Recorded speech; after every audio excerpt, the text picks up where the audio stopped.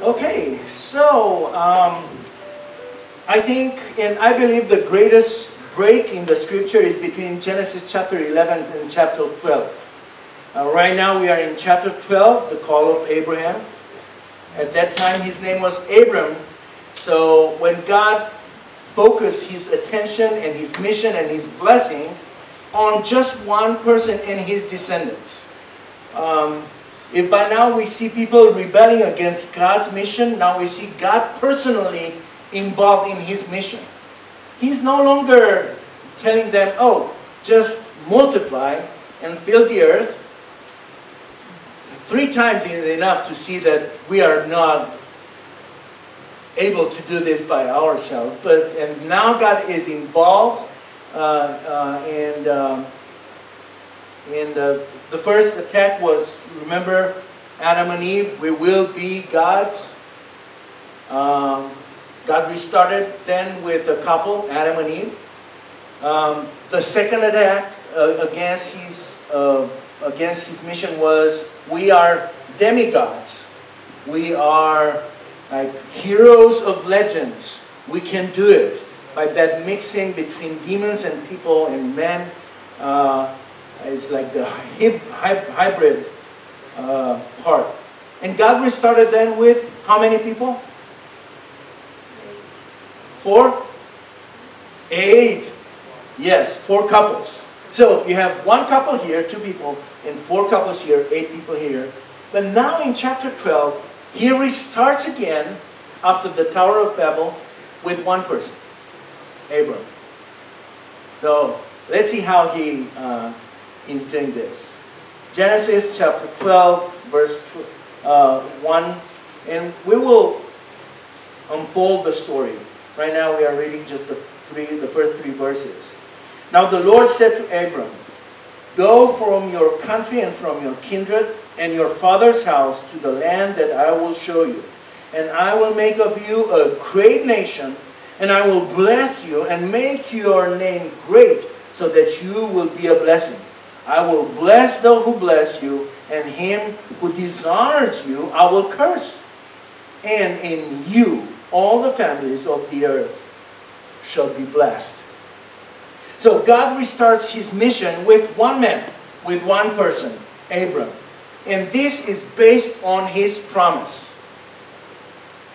Based on his promise, not on his ability to do things, but on God's ability to do things through him and for him.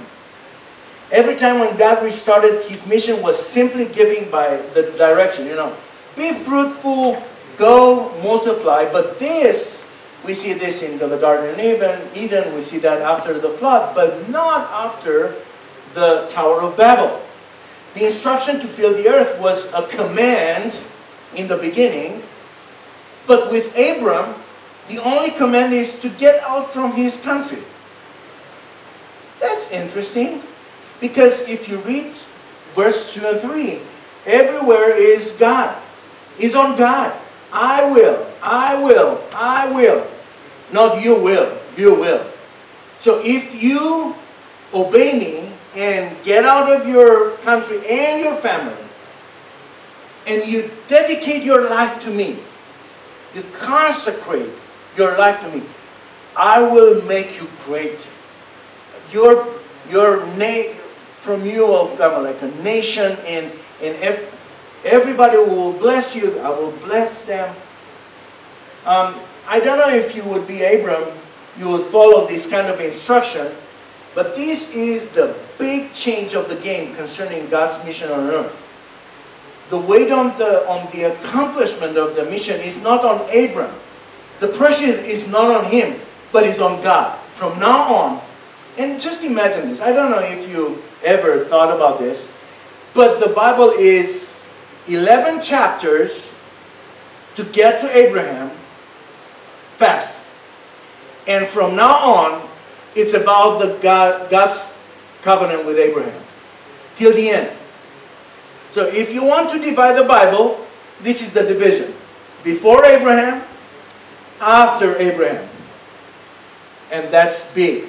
Because before Abraham, God said, you do it, you do it, you do it. After Abraham, God said, I will. I will.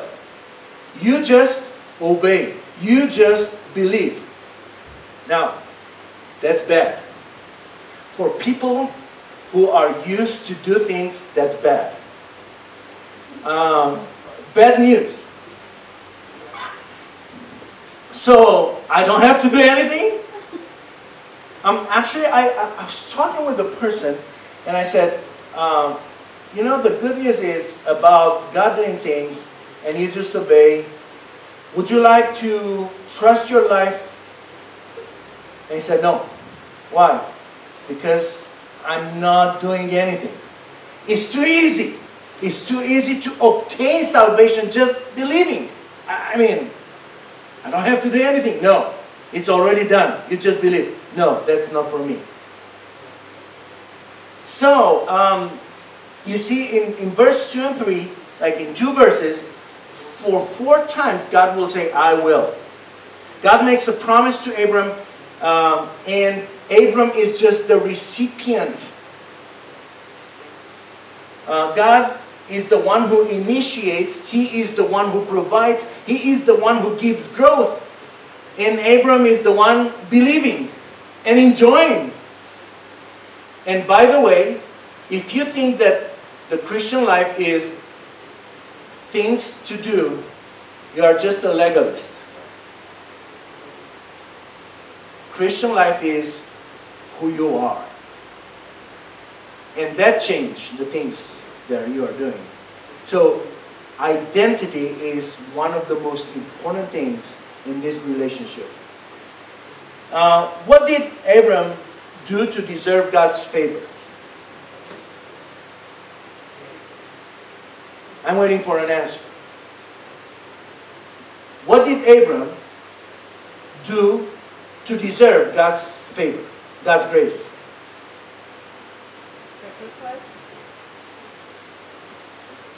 Sacrifice, okay. Anything else? Obedience. Obedience, okay. Trust Anything in else? His promise. What? Trust in His promise. Trust in His promise, okay, good.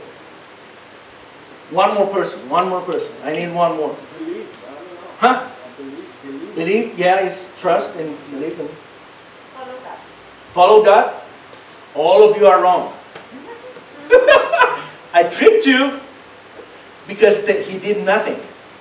When God chose him, God was not impressed with Abram. Abram did nothing. Nothing. Like imagine, yes, after God initiated, yes, Abram obeyed. Abram believed. But before that, what he done?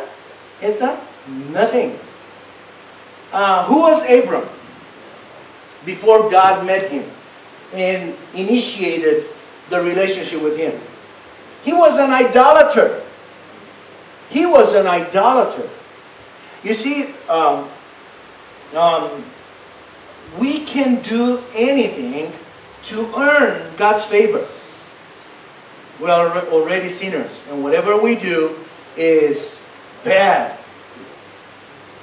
We have all become like one who is unclean, and all our righteous deeds are like polluted, polluted garments. Do you know? Okay, I will be descriptive here. Imagine, do you know, do you know what a leper is, right? Is full of, uh, his body is full of blood and pus and things like that. You take uh, a white sheet, you put around him, and when you look at that, this is your best deeds, polluted garments. When God looks at that, he vomits. He said, I can't look at that. Our best deeds. We can't impress God. You can't impress God. Ephesians 2 8 9. For by grace you have been saved through faith. Why? This is not your own doing, is the gift of God, not the result of works, so that no one may boast. Because we are so good on that. If we can do something, we will blackmail God. You know, God, I'm good. Well, I, you can't do your mission without me. I'm smart. I have skills. God said, no. Take him out. I don't need him. You can't do anything to earn God's favor. He saved us not because of works done by us in righteousness, but according to his own mercy, by the washing of regeneration and renewal of the Holy Spirit. Remember this verse? We had it on quoted some time ago. So, who was Abram? Abram was a Semite. His father, Terah, used to live in Haran, in the country of Aram, and he moved in Ur, the capital of Sumer. Haran was born there in Ur, and he died there. Okay, I have a, a picture from, um, oh, yeah, this is part of the, what Ur was in, in that time. It's a ziggurat. No, that, that is a good one. But, um, Ha- so Haran, his father, was born in uh, there in and after his death, Terah made the plan to move in Canaan. Um, at that time, Ur, was well developed by Ur-Nammu, and that is the stela that uh, is the first picture. Yeah, one more. Uh, on this stela, you see this is uh, Urnam uh, or Nama or Namu. Um, he is the one there, and he worships the moon god, the crescent god, uh, moon, is the moon god Nanna. Uh, Ur-Nammu developed the oldest known law codes, which predates the Code of Hammurabi with 300 years. He started, and he and his son started what we know as the Renaissance of Sumer. Well, Abram was not a Sumerian. He was a Semite. So probably they used to live in Aram, in Haram area. Could you give me that, that, that uh, map? Right here. It is possible that they lived right here. Their names and their family names match with the Aram country. And probably they moved to Ur because Ur was the capital of Sumer and was well, well developed. But because of the uh, economical and political situation, they wanted to move back to Haran. And this is, and from here, Abraham, Abram, at that moment, he moved to Canaan because God called him and he said, I want you to go to a country. Uh, the text doesn't say what country. And this is so interesting. So, um, what we know about Abram, he was he lived in a, one of the most modern city of the ancient Mesopotamia, a well-developed city in the best dynasty of Sumeria, Ur III. So I think it was like stupid to leave that place, to go in Haran back. But God called him, okay? And he was an idolater. He was worshiping other gods. Could you go back with two, one more? You see that little verse here, Joshua 24, 2? And Joshua said to all the people, Thus says the Lord, the God of Israel, Long ago your fathers lived beyond the Euphrates, Terah, the father of Abraham, and of Nahor, and they served what? Other gods. Abram was not the perfect person for to be a Christian, okay? He was an idolater. But God called him. And he said, I want to do something with you. Do you agree? If you agree, get out of this country, get out of this, your family, and worship me. Um, Abram grew up in an era where God Munana was worshipped. The main center was in Ur, the second main center was in Haran. But he's moving to Canaan. So you see what is going on? God made a promise, and the promise is about the future. God didn't sign a paper or gave Abram something and he said, hey, um, this is just a little bit. No, he didn't. He said, go there. Where? There. Do you think you would be a believer like Abraham? Ever? Like Rodolfo? Get out of Vienna and go. and Rodolfo will ask, Where, Lord? Just go. In the country I will show you. But Lord, where is the country? You are deaf? Just go.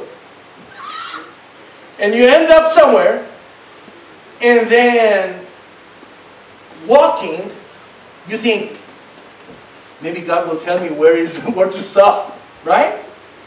This is the belief that Abram had. That's why he is the father of all believers. And his name is great because he was he he he took God for his word. Um, the, the covenant is started here, but actually you find the covenant in chapter 15 and reaffirmed in chapter 17. So it's a process. If you are like me, I want to know everything from the beginning, you know. Lord, tell me everything, and then I will follow you. It's like Be One, right? When we started Be One, we said we will be an international church. How? We don't know. It's a journey. But when God is in that journey with you, this is enough. He is with you. And He said, I will be with you. The promise was for a nation. That means He will have kids. He was 70 ish. A personal blessing.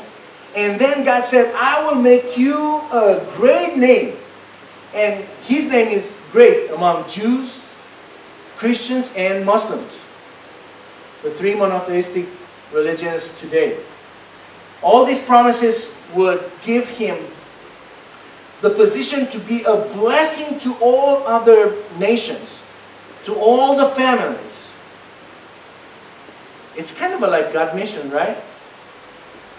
Go to all nations, till the end of the earth. I want to fill the earth with my glory. That's it. That was God's mission and God said, I want to fulfill my mission through you, one person. And if somebody will curse you, I will curse them. Why? He was in a covenant relationship with God. Everything that happened to Abram happened to God. But God's interest became Abram's interest. So you see, both ways. Now, let's turn to you. I know that God is speaking to you. I know this because He is the one who takes initiative. He invites you to jump in and join in His mission. Question Are you an idolater?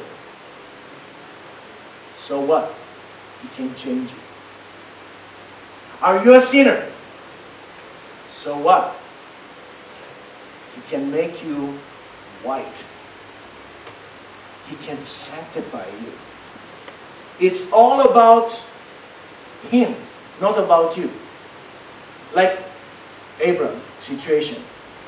He promised you that if you believe in Jesus Christ, that Jesus Christ died for you and repent, He will experience death, suffering, and sin for you, and you don't have to.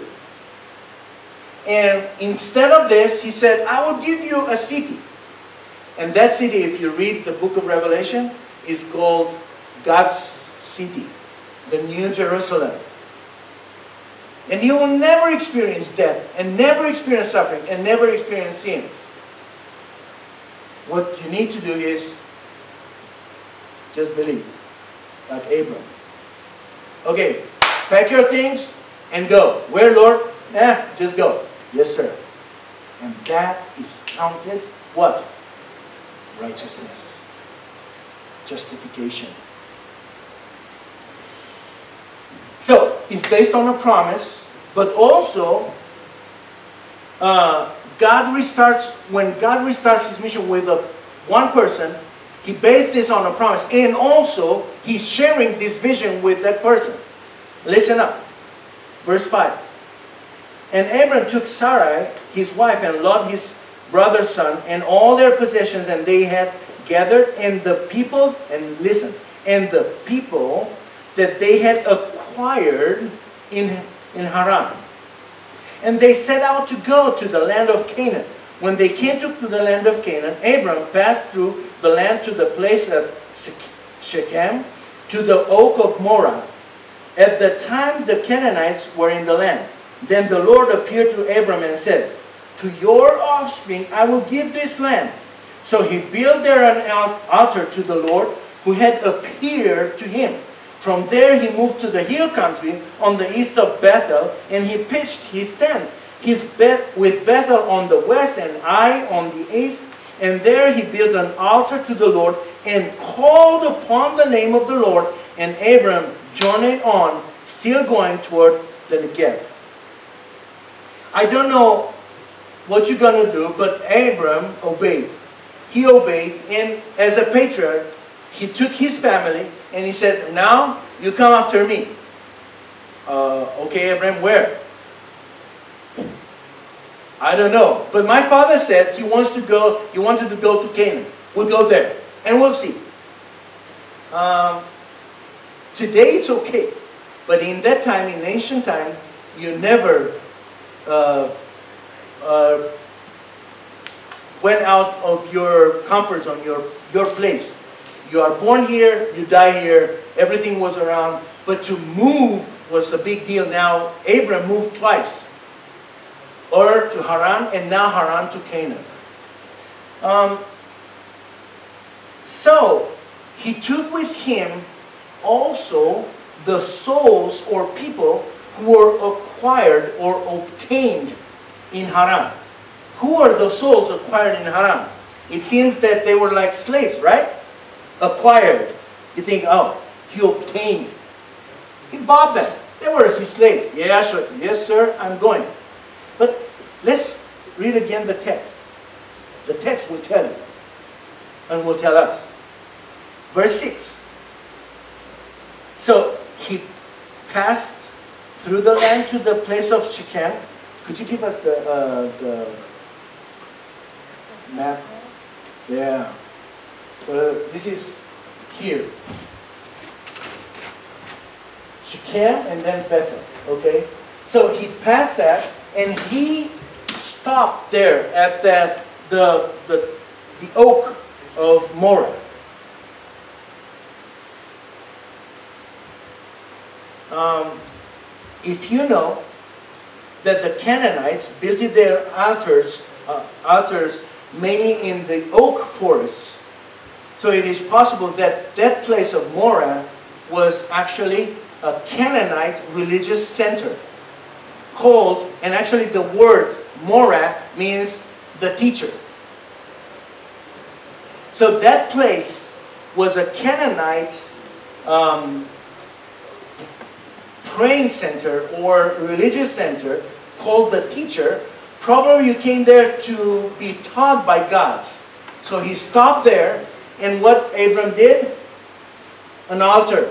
To whom? Yahweh. Not the Canaanites' uh, idols. Verse 8.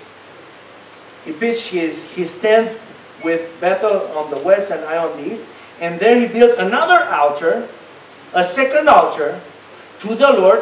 When you see Lord is Yahweh, the word in, in, the, in the, the original is Yahweh, God's personal name, and called upon the name of the Lord.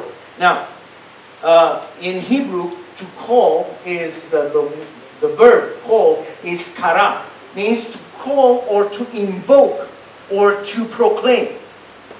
Abram was proclaiming the name of Yahweh in the middle of paganism. He was preaching Yahweh among the pagans, Canaanite pagans. Now, if you connect verse 6 with verse 8, it seems like the souls that Abram acquired in Haran were people who were influenced by Abraham to follow Yahweh, not servants. He didn't pay them, he conquered them and for uh, Yahweh. And he was proclaiming God on his personal and covenantal name, Yahweh. Um, in modern Christ- Christian language, we would call this how? Discipleship. Discipleship. After making covenant with Yahweh, Abram became a preacher, and some people from Haran started to follow him and his vision. And now my question is whose vision? God's vision. Where are you going, uh, Abram? Um, I will head Canaan, and when you will stop? When God will tell me. Well, this is not very, I'm, I don't trust you, man. This is not very, you know, it's, a, it's not a good vision. But you know what? Because you proclaim the name of Yahweh, I will trust you. Not just him, I will trust you too. And you know what happened? God showed himself to him. You see the word appeared is the same word, the verb to, to see something. To see is the verb ra, that means to see, to perceive, or to become aware of. So God became aware to him. He was perceived by, I don't know, maybe God took a human form. Because it was, he said, he built an altar where he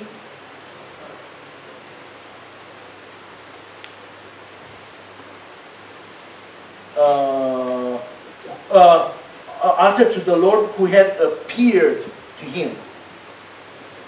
And then he showed him his, his country and said, Look, everything is here, is yours, and your, to your descendants. And this is God's vision. He showed himself and he showed the land and he said, This is yours. And now, after so much time, after God appeared to him the first time, Abraham knew. And he said, Man, this is the land. Now I know. So Rodolfo, after a while, God will tell, and this is yours. Oh yeah, sure, got it. Now I see it. This is mine and my descendants, and I will be here. So Abraham took more like rights to see the whole thing. that country was not his already. But he was looking into this and was like, oh man, this is mine. Oh, this is beautiful. This is mine too. This is my descendants. This is my nation. So God shared the vision of filling the country with His glory through him, through Abraham and his descendants. Now we have the same country. I see the country, but I don't see the descendants. so in Haran, God said, I will give you a country. What country? Hmm, We'll see. Now, Abraham sees the country, sees the Lord. And he said, Well, I don't see the descendants. I don't have kids. Oh, no problem. With, you'll, you'll have them. You see, this is something that we do today. We walk by faith. You know what, it- what is this? You take a step, and God says, You see, when you'll do the next step, you'll see this. Lord, I don't see it. Just make that step. Take that step. Oh, yeah, I see that. And next step. And next step. And that was Abraham's life. And this is our life.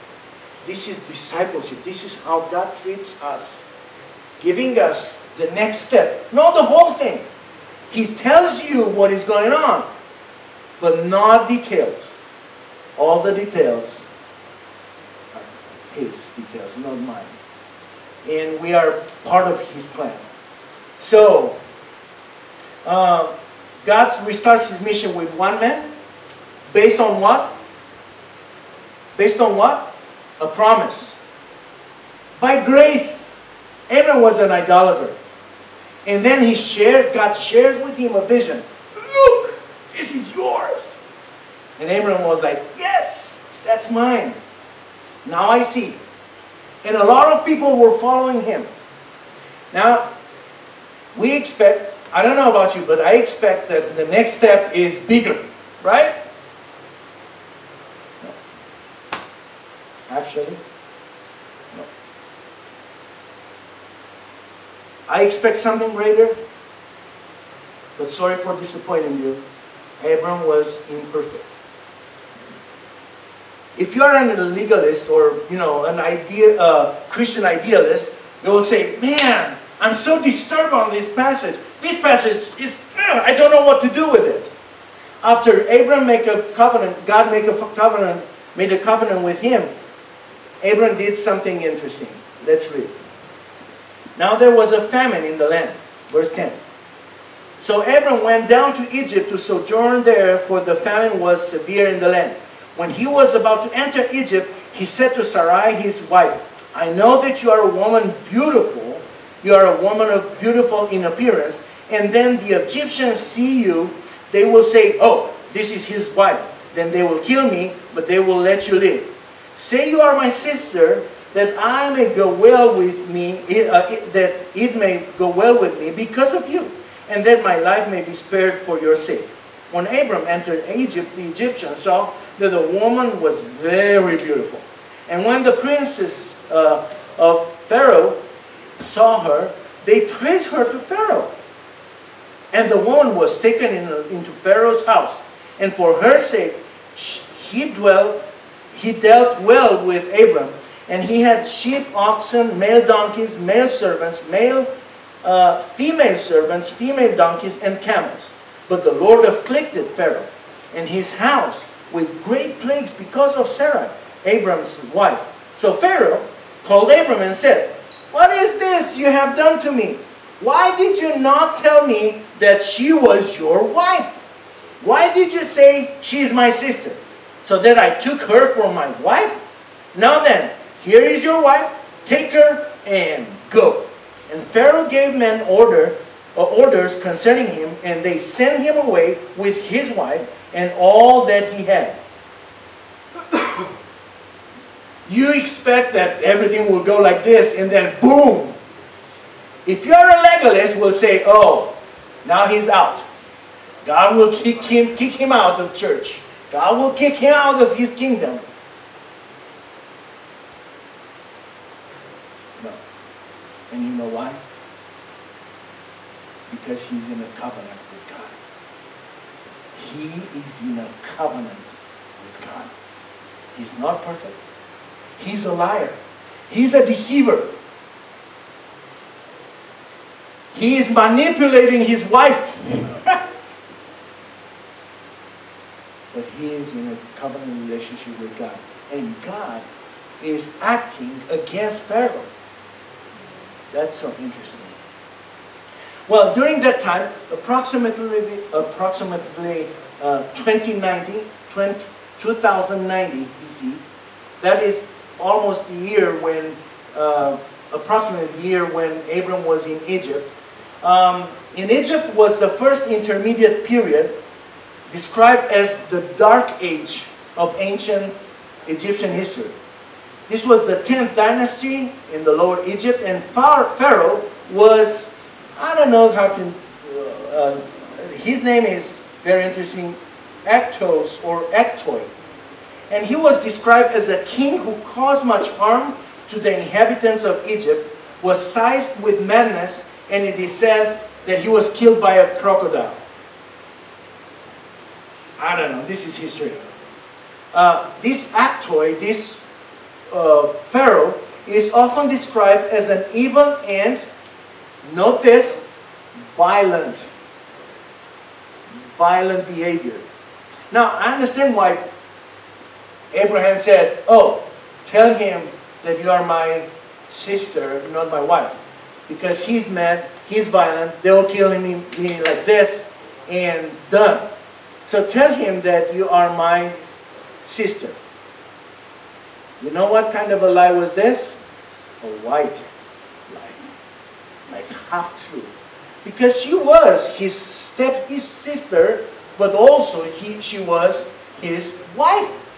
And he gave them what they wanted to hear. He was playing. He was manipulating. Long story short, he was deported from Egypt because the truth was discovered. Who discovered the truth? Who uncovered the truth? God. His partner. God, uh, Yahweh, intervened in a dramatic way and he touched Pharaoh physically, his life in his house, like his harem, his wives. With great, the text said, with great plagues. Egyptians were a very super, superstitious nation, and any plague was interpreted as the beginning of great troubles. And he said, Man, troubles are coming. What is wrong? And then probably he or someone else said, Maybe your new addition, Sarai. And he went straight to Abram and he said, Sarai is your wife, right? You got me, man. You got me. Why didn't you say that? Because, so he is a madman, he's a violent man, but he is also afraid. And they, and they kicked Abram and Sarai out of Egypt. God's plan was in jeopardy because of Abram's decision. Abram was in danger, and, and also God's promise was in danger.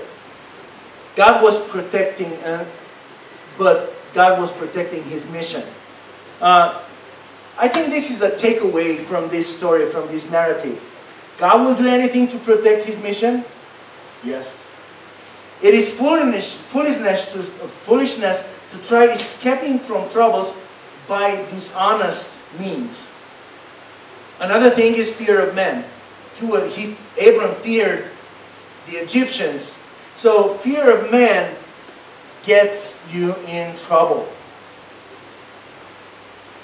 But what does the Bible say about fear of God?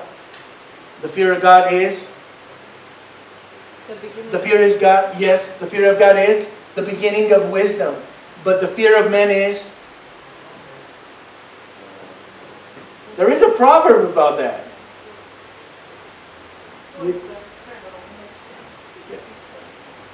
So, we are. Oh, by the way, there is another thing. The consequences are not just right now, but they are long term. When I read this, the text, did you figure out that when Abram received a lot of things from Pharaoh in exchange of Sarah, it was something like female servants Hagar was an Egyptian. She was one of them. And by the way, Hagar, Hagar was very beautiful. Hagar became his wife. That started a fight and troubles in his family later on. And the boy, Ishmael, is a donkey. His character is like a donkey, stubborn. He is the father of all Ishmaelites. And by the way, they are enemies of Israel even today. If you turn on the TV and you hear anything about that part of the world, it's because of Hagar and Sarai. And it's because of fear of men and Abram in Egypt. Everything started there and even collapses right now and more. Is the history is is will go more on this, so it's not over there. Okay, uh, could you go a little bit further? I think I have two more. Also, this is the like the, the oak. or the terebinth, where where um, Abram was proclaiming the name of the Lord, and then number two, sharing the vision, and then number three, protecting. God was protecting His plan. This is the Pharaoh, and probably that was here, the lower Egypt. He ended up here, and then he went back home. Um, probably Memphis. We don't know, but that area. In conclusion, God can start with you. Listen well. With you. One person. Not a church. Not a family. With one person. God can, is able to start with you His mission if you obey His command to go. If you believe the promise and if you preach Him among the pagans of this world, Indiana or whatever, in order to make disciples who call also His name. Because of your covenantal relationship with Him, the result of your actions will be changed toward your blessing.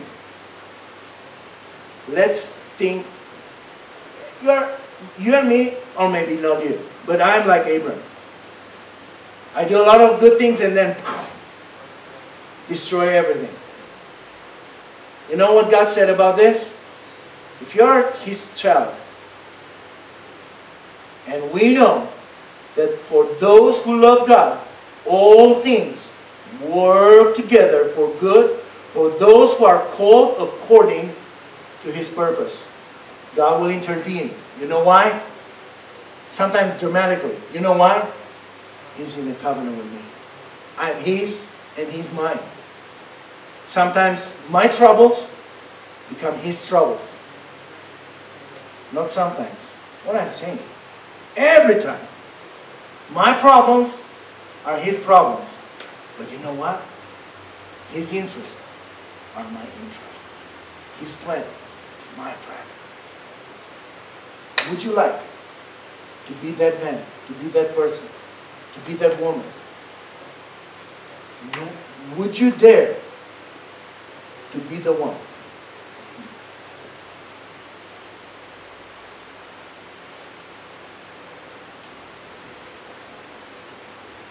What do you think?